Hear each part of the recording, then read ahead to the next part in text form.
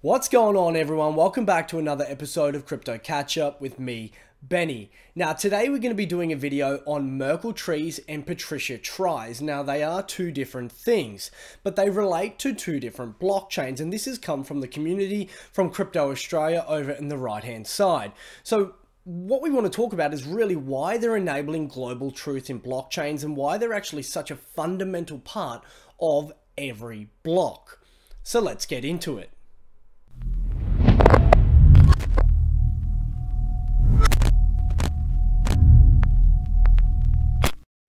Alright, well, Merkle trees also have other names that you might hear around the place. So they might be called hash trees, or they might also be called a binary hash tree. Now, these were actually created or invented as such by a gentleman by the name of Ralph Merkle, who patented in 1979 and he was a computer scientist so uh, he's actually been quite prolific in this space in cryptography and a range of other areas uh, which has led to obviously the Merkle tree hence his surname there now, what are the properties that make up a Merkle tree? Because obviously the name of it's something that we just go, whoa, what the hell? What is a Merkle tree? Well, one, obviously the name comes from Ralph Merkle, but the tree portion Let's get into that. Well, essentially what they are are data structures. They allow us as individuals or computers to verify the contents of something. So in Bitcoin, it's to verify that transactions existed, that they happened at a particular time, that they were a part of a particular block. This could also be used in other systems, which we'll go into shortly. They're tamper proof because of the way that they use cryptographic hashing, which is why I've done a video uh, on hashing and, and cryptographic hash functions prior to this to enable you to go back and have a look at that and then come and watch this video so it makes a little bit more sense for you because the Merkle tree is made up of hashing two different things together. It's computationally efficient. So if you could imagine the thousands of transactions that go on on the Bitcoin blockchain, you know, every 10 minutes, we can't store that information all the time, especially as we continue to go on into the future. We're going to start using obviously a lot more information and a lot more transactions as global adoption comes to the forefront. So it needed to be something that allows us to verify it, that's tamper proof, but also is small in storage space. It enables verification without sending all the transactions and all the blocks. And that's done within the block header. So the block header has five things uh, specifically to Bitcoin in this circumstance. It has the hash, a timestamp, uh, a mining difficulty value. And what I might add is that the hash is of the previous block. And that really is to do with ordering of the blocks, more of a, a timing scenario. Uh, the proof of work nonce, which is like a, a number that they must find, uh, and a root hash for the Merkle tree. Now that's where everyone goes, oh, root hash of the Merkle tree. Well, don't worry, we're about to get into it. It's heavily used in SPV, which was actually uh, detailed by Satoshi in the original white paper in 2008. And SPV stands for Simple Payment Verification. Because if you can imagine, like we've just talked about, about being computationally efficient, if I'm running a mobile app or I'm a merchant, I'm not going to go and download the Bitcoin blockchain, which is 163 gig as of March 2018, especially when we consider projects like Bitcoin Cash, which are trying to use one terabyte blocks, which is larger than the whole Bitcoin chain right now in one block. It simply is not feasible. And then we start talking about centralization of the services because you and I can't participate in a network that is so expensive to run like that in terms of storage space and the integrity of the data. So it essentially protects the transactions within Bitcoin, and we know then if somebody's tried to tamper with it. So what are some of the use cases? Well, of course, they're used in blockchains. That's why we're here, right? They're also used in IPFS, which is the Interplanetary File System, which I'll do a video on shortly. Uh, and it's quite cool. It's actually file storage in a decentralized manner. And the way that it was actually designed was thinking about, well, one day if we live on the moon, how are we going to store this data in a particular way that is going to make it easy for us to verify, but also to send back and forth. And finally, even in enterprise grade products like Apache Cassandra, which is a NoSQL database, uh, it's open source, and that thing flies. That is a really fast database, unlike Bitcoin. So let's give it a bit of a definition here. Well, like I said, it is just a data structure, but let's explain the tree concept. Now, this is gobbledygook, but we're going to go through it together. So it's a tree which every leaf node is labeled. Now, a leaf node in this circumstance is just data. It's a transaction with the hash of a data block. Once again, that transaction that I've just talked about.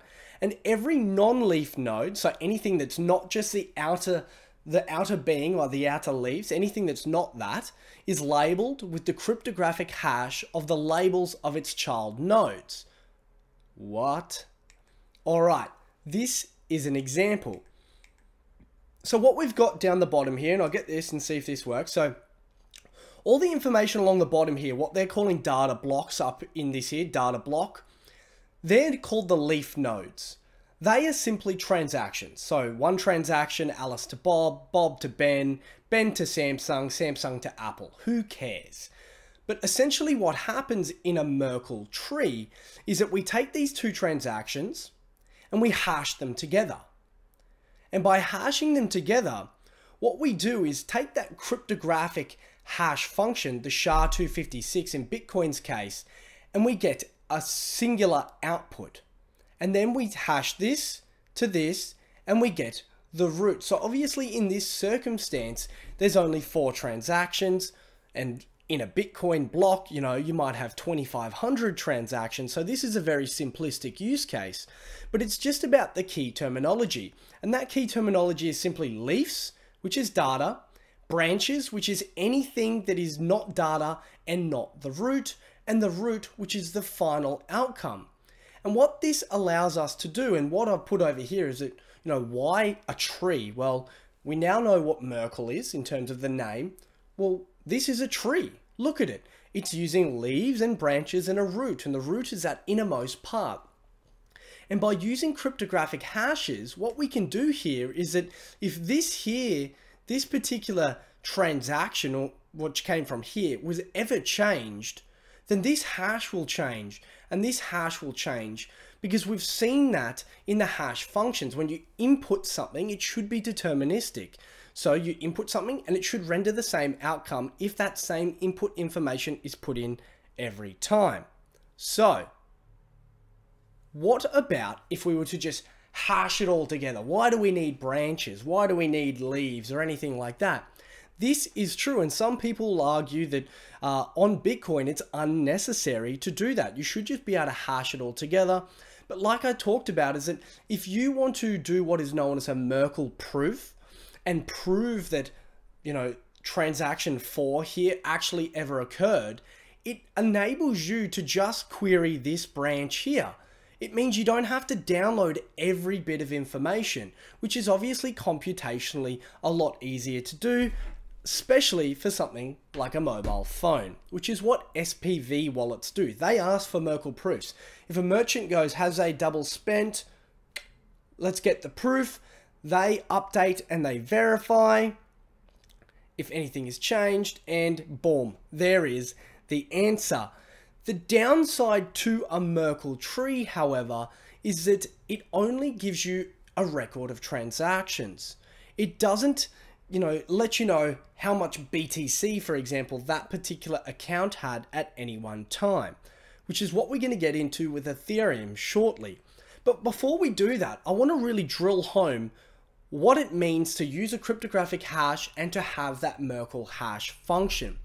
So what we're going to do here is once this loads, get out of that. So what we've grabbed on the right hand side is a block back from 2014, as you can see here. It's got 99 transactions in it, which you can see down the left hand side here. And what I've taken is from this gentleman, Ken Shirriff's blog, uh, if you want, so go to righto.com. he's written this lovely piece of Python code. Now, of course, we're not going to go through that, but what I want to show you is how this Merkle root actually works using the SHA-256 algorithm that Bitcoin uses. So if we compare this here, 00BAF, 00BAF, you know, 28B, 28B, 91C, DEA, 91C, DEA, and we go down and we've got all 99 transactions in here. And what this code essentially is doing here is taking a list, it hashes two together, which is done in this function here. Uh, and you'll see here that it uses the SHA-256 from this hash library. Now, let's have a look. We execute it, execute it, and we get 878A. Okay, well, that's cool, but let's see the magic of SHA-256. Like I said, if we have the same input, it's deterministic, it should get the same output every time. Let's run it again, same thing. Run it again, same thing. But this is where the cryptographic hash function comes in. And what I was talking about where we was, you know, for example, if we were to go back and change one of these particular transactions, what might happen? Well, Let's find out.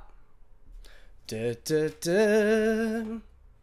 Let's change C here to D. One little integer, uh, sorry, char of all of these transaction hashes. Wow, that changed. So if we change this back to C, if we click up here again, change this back to C, will it go back to the hash that we had before or, or that Merkle root? Yes, it does. And that is a beauty, ladies and gentlemen, of cryptographic hash functions. So if anybody ever tried to fudge any of these transactions after they occurred, we know that within the actual, uh, you know, Merkle root of each block, which is here, the Merkle root, which is made up of these transactions, if anyone tried to fudge this here, this Merkle root is referred to within this next block, we would know that something funny has happened and what the software would do of these miners or the, the nodes or the SPV wallets like your mobile phone like we talked about, they would simply reject. They would go, wait a minute, no, no, no, this transaction, something funky's happened here. And obviously we can do something about it from there on. So what's next? Well, that seems pretty simple. It's just a tree where we hash data together, which allows us to query that data in that data structure. But what about Ethereum? Well, Ethereum is very different to Bitcoin. Bitcoin just has those transactions. Ethereum is a global computer. And because it's a global computer, there's a lot of things changing at any one time. Because when a transaction occurs and it's you know written into a block on Bitcoin, it's kind of frozen in that state forever. Whereas Ethereum, it has smart contracts and smart contracts are updating all the time. So what Ethereum uses is actually called a Merkle Patricia trie, or what's also known as a radix trie. Now, Ethereum, instead of using one Merkle tree, it uses three different Merkles to be able to achieve that global state and to have some form of, you know, extra ability to query data within their particular blockchain. So they have a state root, which is essentially the state of the block, the transaction root, that one's fairly self-explanatory, and you have the receipts root. Now the receipts root is something like your gas used, uh, things like that. Uh, your state um, root, if I go back up, is things like your accounts. You know, you can have an account because Ethereum is an account-based system um, rather than what you have in Bitcoin, um, which only has a UTXO, so the unspent transaction outputs. Now, Patricia actually stands for something. So Patricia stands for Practical Algorithm to Retrieve Information Coded in Alphanumeric. So when you look at the Merkle Patricia trie, Patricia actually has some form of, you know, acronym that goes with it. Now, if we were to look at the Ethereum, uh, you know, tree or the trie, it's obviously a lot more complex here, guys, and that's what I'm showing here. Uh, this is a modified Merkle-Patricia Trie system, uh, and on the right hand side, we have a simplified world state. So if we look at this first one, A711355, there should be 45 ETH in that particular account. Well, let's have a look. Well, there it is, A7 from the root. We go down, we go to 1. There was another one and a 355. Ah, there it is on the leaf node. 1355. 45 ETH in there. The next one you see, if we go up, wei got 40, uh, sorry, A77D337, one we in there. A7, we go, oh, where's the 7? Oh, 7's here. D3, okay, 3, 7. Where's that? 3, 7. Right. Now, this is obviously much more complex, and I don't really want to go into it much more with you, but if you are interested, please have a look at the yellow paper from Ethereum.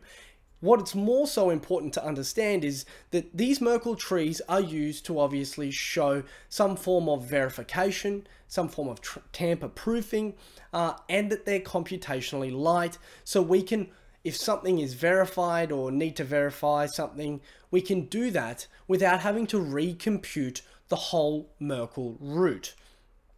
This is another picture and just some example questions. So rather than going, has this transaction occurred? On the left-hand side, you know, has this transaction been included in a particular block? Well, yes, we would check the transaction tree for that. What is the current balance of my account? This is something that Bitcoin can't do. That is stored within the receipt tree. Does this account even exist? That's in the state tree. And, you know, can we pretend to run this transaction? So some form of, um, you know, automation, you, you're wanting to test something what that actually does is a little bit different. It's like a Merkle proof, uh, but, but slightly different. Uh, and it enables them to spool up a SPV node uh, and essentially check that by using a state tree. But we're right at the end, guys, and everyone's going, DAGs, you know, what about IOTA? What about all the rest of them? Well, DAGs, they have their own Merkle DAG because in most DAGs, they are even. So what I've drawn up here just quickly is an uneven one and what that actually happens. So you've got these two that hash, these two that hash together, and then you've got this poor little bugger on to the side.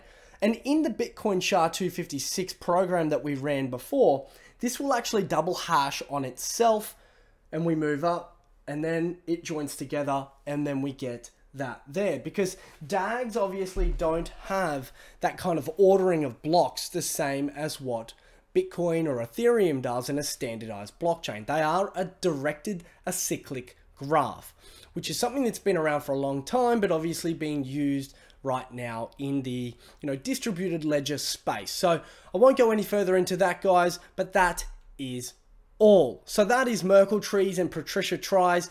The learnings from that, guys, is obviously Bitcoin has one, they use it. They're actually computationally not as efficient as they could be because they do a double hashing. That's something that Satoshi did. Um, that obviously Bitcoin, uh, sorry, Ethereum also uses it, but Ethereum has a different way of handling it because it is not just transactions. All right, guys, that is all. Once again, if you have any queries, uh, questions, or, or doubtful points, let them know below. Please make sure you like and subscribe, and I'll talk to you soon.